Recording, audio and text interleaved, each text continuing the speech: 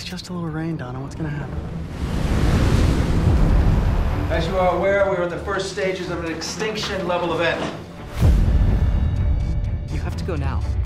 This is biblical. She can hold 50,000 people. It's an amazing vessel you've designed here, Lieutenant. Passengers will gather at the Ark. There will be a lottery.